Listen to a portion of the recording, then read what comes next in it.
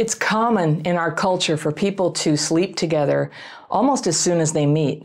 And a lot of people act like it's fun and it's easy and you can do that with no expectations and only foolish people would expect anything or be unable to handle it, really. So for people who grew up neglected and abused, there's this contradiction. Their attachment wound is crying out for someone to love them and stay and not leave. But the culture of casual sex, which kind of has this very immediate offer of a payoff that somebody will be with you tonight, sets you up to take that need that you have for love and, and push you to give it up and just accept nothing. Now, healing this idea that you have to rush in and you can't ask for anything uh, and you have to suppress that need you have inside that you what you really want is to be loved and for somebody to know you and care about you. Like suppressing that it's not good for you. And it can be healed if you can get real. If you can get real and stop self-sabotaging and make a space in your life where real love can grow. My letter today is from a woman i'll call nora and she writes dear fairy I'm a 38 year old woman and I have CPTSD from growing up in a verbally abusive and emotionally neglectful family. Got the fairy pencil and I'm going to use it to circle things I want to come back to on a second reading, but let's see what's happening for Nora. I've been aware of my CPTSD for several years and have developed some tools and strategies for self regulation, but an incident 10 days ago really shook me and put me in a bad place mentally. I was dating a guy for a month who I met at a New Year's Eve party, and from the beginning there were red flags I ignored. I pursued him more than he did me. He was vague when he was talking about feelings or plans, and he straight out told me he wanted to keep things casual. Okay. There it is. There it is. That's how he feels. We spent a long weekend together, two weeks after New Year's, and we slept together. I told him I have anxiety and abandonment issues, and I'm trying to be more aware of them and control them, which he seemed to be understanding of. Okay, we're going to come back to that. I got it in my head that he really didn't like me based on how little he was pursuing me and some hot, cold behaviors, and I asked him for reassurance. He would give it to me, but not very earnestly. The last day I saw him, I had driven three hours to see him. He didn't really invite me I invited myself. oh, and he didn't say I should go. Okay. When we saw each other, he was not affectionate. He didn't kiss me or try to sit near me. He was friendly enough and was trying to include me in his activities. But I felt like a puppy dog following him around all day. My anxiety spiraled so bad, thinking I had made a mistake coming and he wasn't interested in me.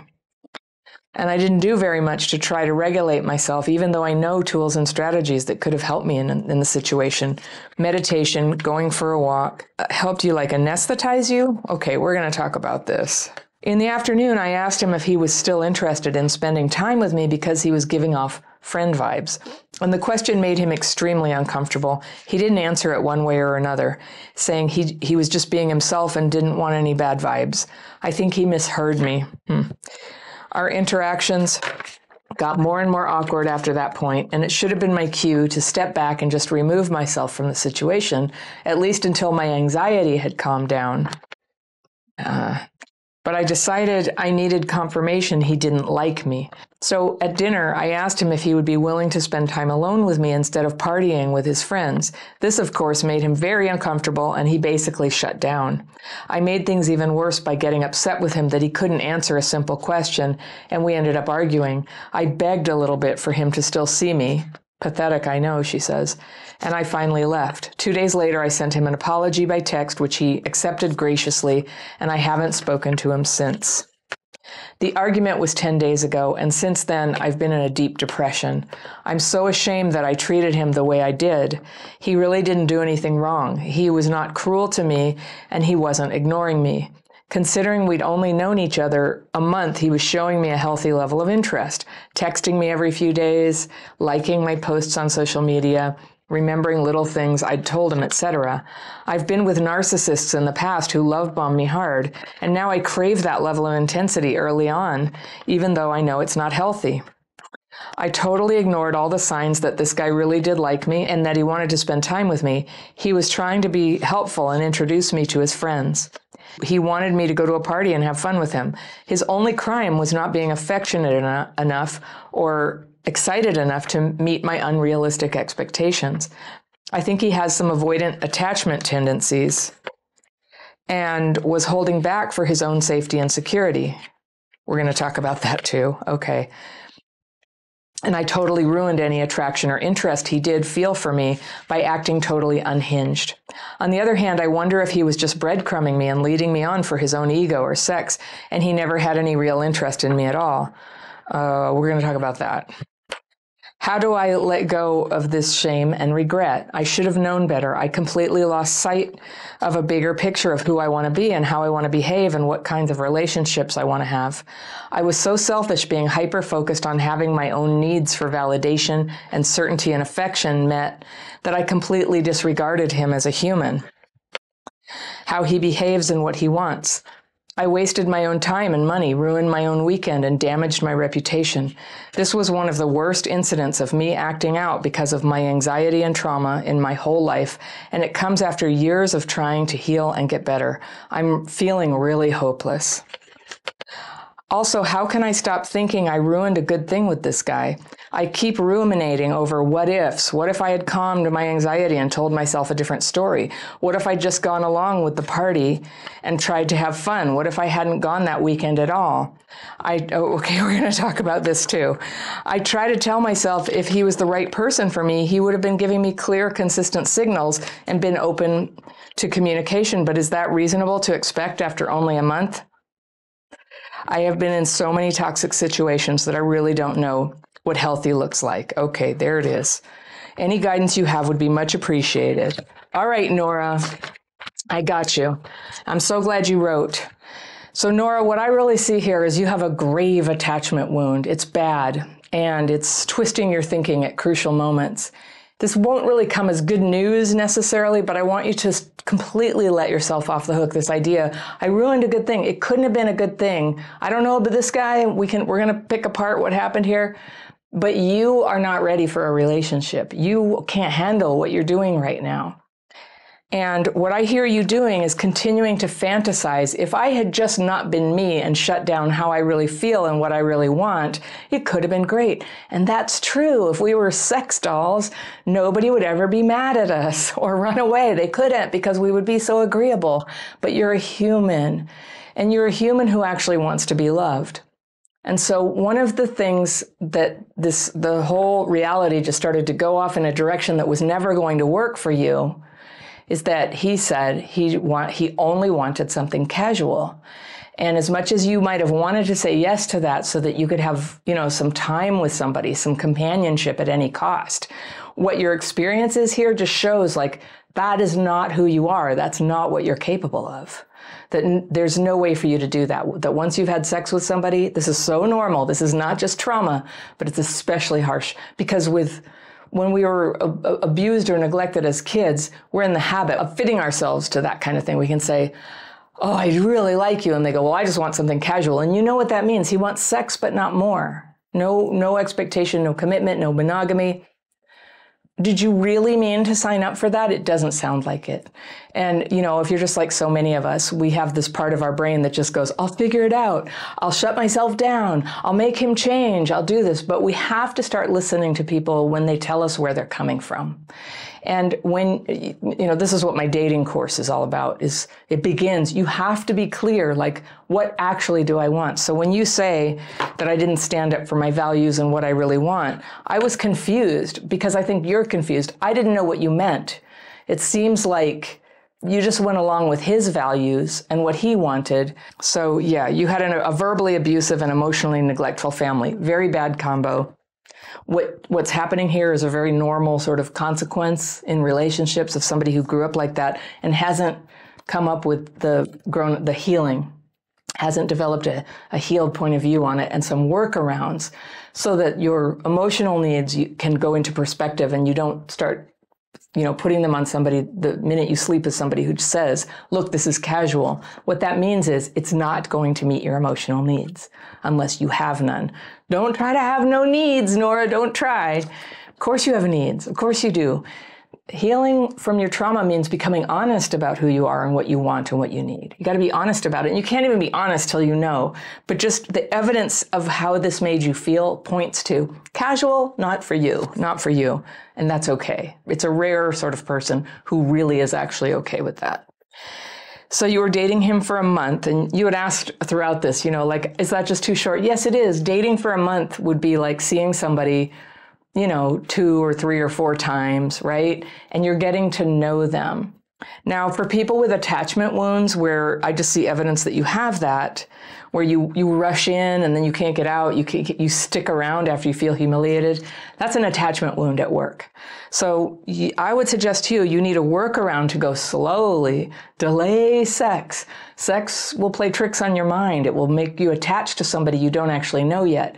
It will make you pretend you heard what you wanted to hear when you heard the opposite, when they're telling you where they're coming from. He didn't do anything wrong. He was very open about where he was coming from.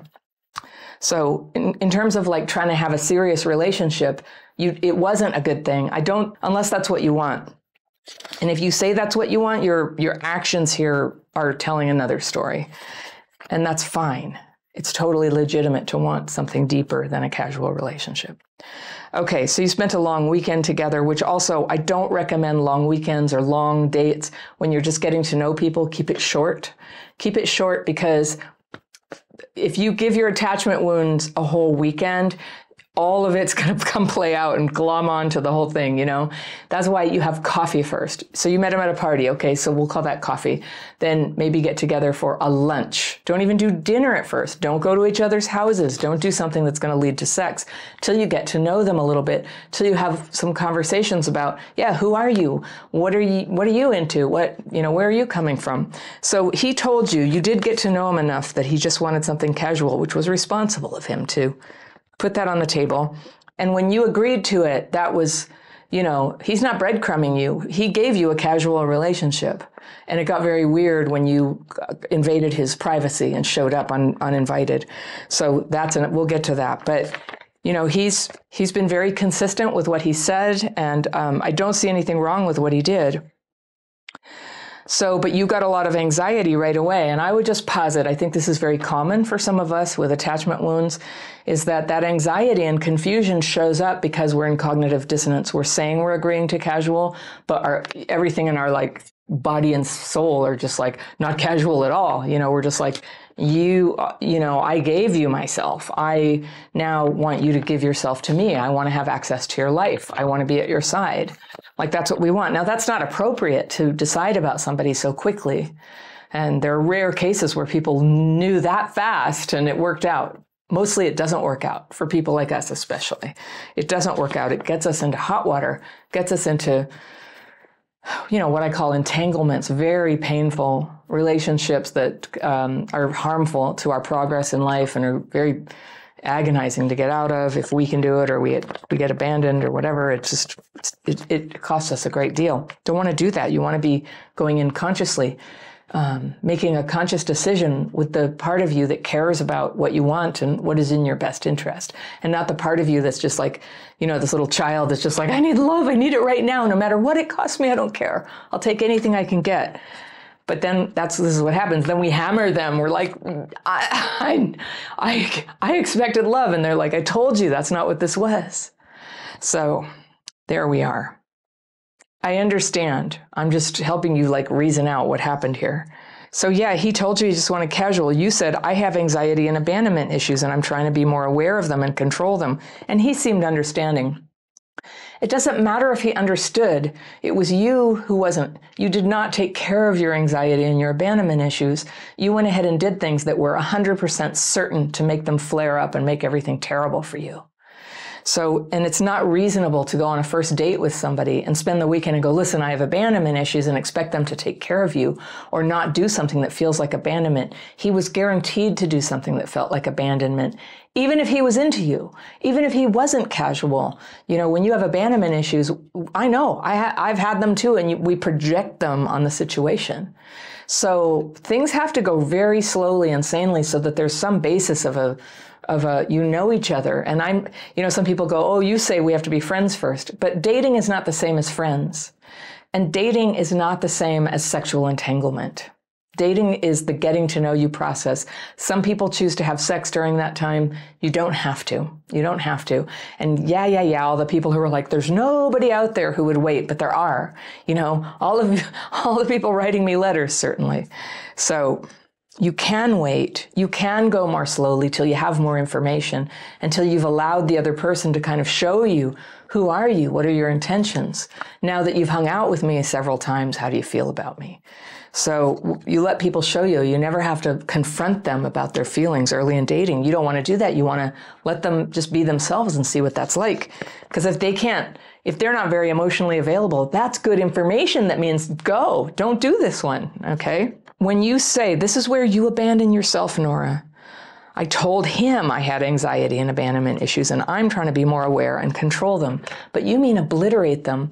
And how do I just know that in your childhood, that what your parents hoped for is that your emotional needs would just go away? That you got indoctrinated that this was what you were doing wrong is having needs, of having expectations, of needing actual time and attention from your parents. This is how it shows up, is in this weird self attack. So then you go, here, I have this problem. You take care of it. You take responsibility for it. Well, they don't. And he even told you that's not going to happen. So you basically kind of just threw yourself off the ship there of just like you're going to have a you're throwing you're abandoning yourself into a, a sea where nobody takes care of you, where nobody cares that you feel that way. So don't do that. Stay on the deck. Take care of yourself. Don't give yourself away so quickly you can get to know people and just believe me, there are people who will love you and care about you and be patient with you and be aware of your issues and be considerate about them. You know, I'm not, healthy people are not going to take, take us on when we're not healed at all. There needs to be some healing. There needs to be some sense of ownership, like, i t- I'm taking care of this. But how you deal with it when you have abandonment issues is you don't, you know, throw yourself out there to get attached to somebody who's already told you they're not going to stay. Okay. So you said, I got it in my head that he really didn't like me based on how little he was pursuing me. So you might be twisting that a little bit. The way you know that if somebody is interested is if they don't pursue you very much. So he didn't. So that meant he wasn't that excited about you. It doesn't mean he didn't like you. It just meant, given that he wants something casual and given the way things had played out, it wasn't inspiring him to try to run after you and try to get things going with you. He wanted something casual. That means maybe occasional, maybe there's no emotional obligation. He had some hot and cold behaviors, and I'm I'm going to give him the benefit of the doubt and say because because you were in dissonance and you were like simultaneously saying casual, great, I can do that, and then being really anxious and having abandonment wounds coming up, and, and you said I asked him for reassurance. Reassurance of what? Of what? He wants something casual. There's nothing he could have reassured you. So he gave it to you, but not very earnestly. And so I would clock him as he's He's somebody afraid of hurting you. He doesn't want confrontation, but he figured out pretty early on that your needs were way out of scale with what he was available to give. And when you're doing that, you will see people try to help you out but not give you that love that you want. And i i you know we don't know him well enough to really know what the full story of that was but that's how i think i would feel if somebody were rushing in even though i said don't rush in. I would start to feel like whoa you you you're trying to get a boundary. You're trying to get emotional distance. It can be uncomfortable and alarming. And, and it actually can get scary you know like you don't really know like how far is this going to go where somebody's not saying one thing but doing another. It, it can be kind of frightening emotionally. So the last day i saw him i went three hours. He didn't really invite me. I invited myself and he didn't say i should go. So right there i feel like you glossed over what that was. That was that was not a good thing. And you feel guilty and I, I don't want you to it's like you feeling ashamed of yourself is not serving you right now. You feeling in a like let's look at what happened here and see what how healing would look for you so that you could do things differently next time. You everything that you've done is somebody with an attachment wound completely running the show and overriding logical information. This is part of how our brain is wounded by trauma, so it's totally understandable that this happened to you. But you're writing. I know you're writing because you want to get some perspective. It's like, but really, what just happened here?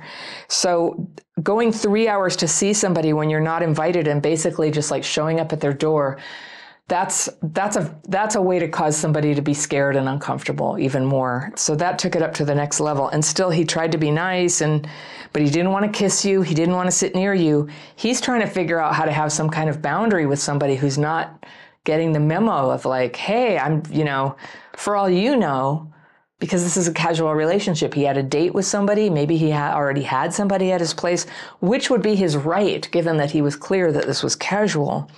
See, I don't, I don't like, I don't do casual. And there was a time in my life when I thought that's what I had to do, but it just like killed me. I hated it. And so finally I got honest, like, I just wouldn't get into something where somebody was casual. It takes time. It takes time to get to know somebody and get, get to where the, you know, when you're actually like, sleeping with them that you actually know that they care about you, they're committed to you, they are going to be there emotionally if any if you start crying, right? That could happen. A lot of people don't want to hear that and they think it's too old fashioned. It's like, well, to those people I just say do what you're going to do. But I'm writing to Nora. I'm writing to Nora and what Nora's struggling with and what a lot of people who had attachment wounds suffer with, which I know about because because I've had them too and I straightened it out. So I'm just telling you this is how you do it. You have to get like really honest with yourself. And you have to sacrifice that sort of insta romance that can be a quick fix against the depression and the loneliness of not having anybody. And it, it's very seductive. The idea, oh, you know, if I just go along with this casual plan, I'll have a boyfriend for the weekend. It's kind of like doing drugs or something. You know, you'll be high for a weekend, but then it's going to be terrible. And then you're going to want more. And then the worst side of you is going to come out and your life will get derailed and it's not worth it. Here you go gaslighting yourself again, is where you go, um, my anxiety spiraled so badly. I made a mistake. I thought I was making made a mistake coming. You you flat out did make a mistake. No matter how you felt it was a mistake, you didn't have his consent to come visit, and that's very important and he wasn't interested and that you didn't do very much to try to regulate yourself. So regulating yourself, it's not a card trick that you use to shut down how you actually feel and what you actually need and who you are so that you can go along with somebody's casual agenda. That's not what regulation is. In fact, regulation would help you be more honest with yourself. Being regulated and doing something that went against everything that you are and want would actually make you feel like crap. Okay, regulation would allow you to feel that honestly, like, oh, yuck, I don't want this. Horrors. That's regulation is not a tool to shut yourself down like a drug. So all this like breathing and meditation and walking and everything, tools and strategies, it's we don't do it so that we can be appropriate for somebody else's agenda. We do it so we can be honestly, authentically ourselves, needs and all. Weepy little parts of our issues and all. We we become ourselves. And you cannot honor and protect and heal yourself until you actually can feel yourself and you quit lying about what that is so somebody won't leave you on some crappy hangout that you have going on. A little tip I'm going to insert here healing from this kind of relationship trouble is always going to involve a way to be happy and comforted and with friends whenever you need it. And to do that, like a lot of people with attachment wounds don't have the friends, the friends are sparse. So it's so important when you're not in a relationship and when you are in a relationship to have friends. And for me, that all shifted when I got into 12 step recovery for families of alcoholics. I had, fr- I had somewhere to go any night, any Saturday morning where I needed to be with people and I could talk to them and say, Hey, anybody want to go get coffee? So I always had companionship when necessary. And that saved me from a life of misery, you know, having to try to chase that in some man. And allowed me to go slowly. It allowed me to be single for long periods of time while I sorted things out for myself and to be happy while it was happening. So, and to have perspective. Not only that, but 12 step recovery is a way to to recover. It's a way to start, you know, getting honest and real and educated about what's going on with you, to witness other people who have similar issues and how they have a bad day or a good day or a victory or a failure. Like we help each other by learning from each other. All right, so then you did all of that, but you didn't even use your tools. But you're just saying, I, I failed to shut down how I really feel.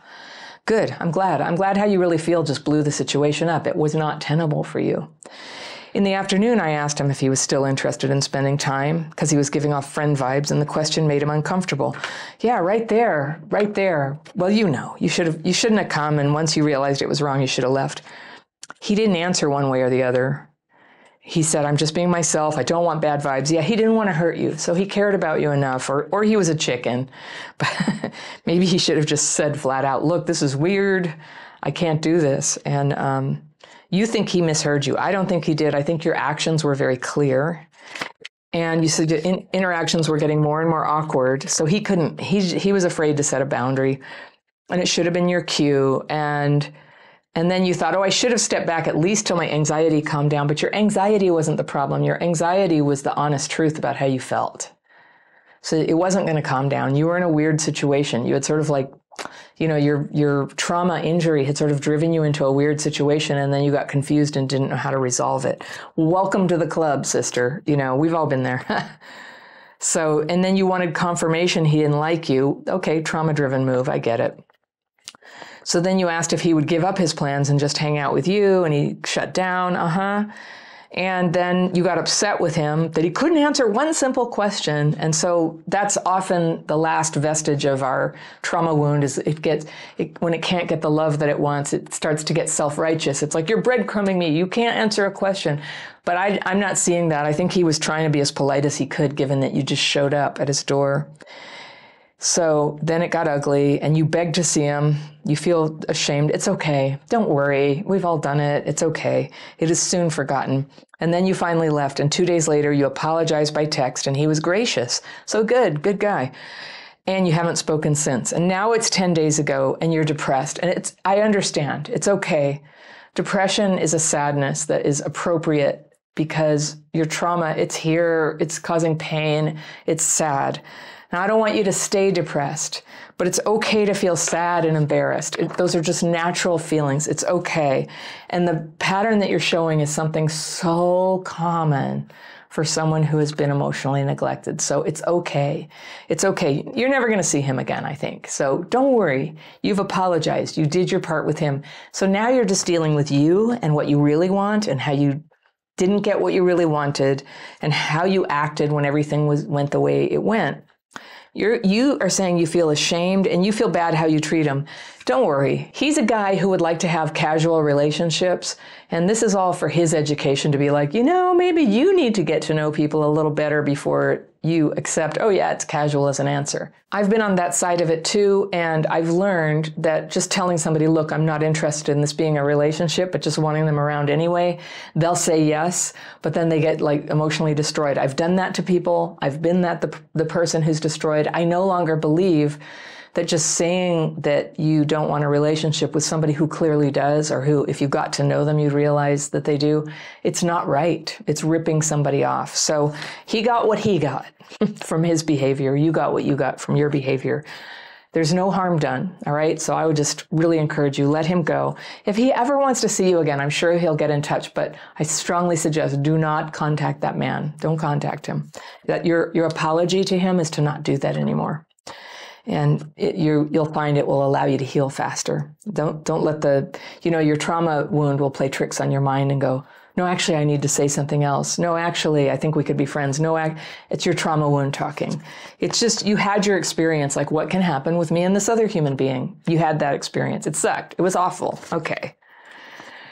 When it's a good match for you, it's going to feel good and uplifting for both of you, at least some in the beginning sometimes things get off to a rough start, but there's just so much evidence here. Like, it's time for you to heal, Nora. It's time for you to do that. Yeah, you're right. He wasn't cruel, and you're blaming yourself for craving intensity. Don't don't even bother bl- blaming yourself. It goes with the territory of being growing up neglected. It's not your fault. It's just like a it's a wound that you carry that you now have to protect and defend. You have to go slowly. You have to communicate clearly and you need emotional support from other women who get it. When, to, when we get together, and men with men, women with women, generally speaking, and I'm just, you know, if people are straight, that's, it's just so that you're not trying to get your emotional support from somebody who's secretly in love or you're secretly in love with them. We just need friends, friends who get it, friends who are walking the path of recovery, and they can help you. And you can go, I want to call them. And they can go, No, don't call them. Come over here. Come on, we'll have a grilled cheese sandwich right? That's what you need. You need actual love and support. Uh, when you go to somebody who you know, didn't give that to you before, thinking this time it'll be different. It's what we call going to the hardware store for milk. It's not a good, there's no milk. You won't get what you want. And then, then comes even more depression. So just close that wound that's making you depressed right now and start doing the things that are healing for you. So yeah, he did show signs of liking you. He didn't know you yet. You were masquerading as somebody who was totally fine with casual. So, it, you know, it sounded good to him and, you know, he tried to be polite to you and he withdrew. And then there's this weird twist. And I see this. This is the what I call the limerent twist, where you start to think, I have to have him. And maybe instead of him rejecting me and just it getting weird because he was too polite to make me leave, but it, he clearly didn't want you there, then you go, he has avoidant attachment tendencies. Well, I doubt you know that after one weekend with him. I doubt you know that. Um, I think he doesn't want a relationship with anybody or possibly just you. And I want you to just let that in. He might have perfectly good ability to attach. He, and you say he was holding back for his own safety and security, also because it's not what he wanted, also because in his knowledge of himself, it's not what he wanted. That's, we want everybody to be able to know what they want and to seek it out and to behave consistently with what they want. So he's doing it. Now you get to do it for yourself. And your template is different and you said, I ruined any attraction and by appearing unhinged. And it's not just about how he feels about you or it would have been great. It's not just about that. It's just that for you, the reality of being around him was a very upsetting reality uh, that didn't feel good at all. And sometimes those of us who grew up neglected, like we can't really get that perspective of like, I feel like crap when I spend time with this person. I feel really unloved. That is how you feel. That's why we date is to find out how does this feel? You know, how is this? How do they feel? What in, what do we end up doing in our, with our lives when we spend time together? And then you said, I wonder if he was just breadcrumbing you. I don't think he was. I don't think he was. He had a weekend with you. He had a casual fling with you, which is what he said. So maybe you were breadcrumbing yourself by saying yes to it and then thinking you could change yourself to make that work. It's okay. I, you know, I'm famous for, I'm very direct with people. I'm like, no, I think you breadcrumbed yourself. I think you abandoned yourself. I think you crap fitted. You tried to make yourself into somebody who he would date, even if you had to give up everything you wanted. You couldn't do it. So it's okay. It's just not you. This relationship is not you. So it's okay. There's nothing more you need to do for him. It's all for you now. And you're right. You don't know yet what healthy looks like. So this is how we do it. You need tools. You need tools to cope with all the feelings that come up. You need uh, tools that help deal with feelings of shame and guilt and blame, attack of yourself or other people, so that you can start to make sense of what happened. And instead of just feeling forever against yourself or in danger of other people hurting you, you start to have boundaries, you start to have self-knowledge, you have ways to get in, to get to know people and to get out if it's not what you wanted. And so tools and friends who support you, those are the two essentials for you and a willingness to be honest with all of that. So I recommend 12 step programs. If you like, you can come into my membership program. We function in that way. We have a private Facebook group where people give each other a lot of support and raise questions and ask for advice from each other. They get all kinds of advice, of course. We have peer led daily practice calls throughout the day. If you just want to put your toe into what we do here, sign up for my free course on the daily practice and learn how we in this program free ourselves of the fearful resentful thinking that gets us so wound up and separate from ourselves. And then see what you like. If you like it, if you like it, come to one of the free calls that we have every week where we do the techniques together and take questions. We're super invested in anybody who wants to learn these techniques to come learn them well. And then if you really like it, take a course with us, come to a workshop, you know, come to the membership where you can access all the courses. You can do that.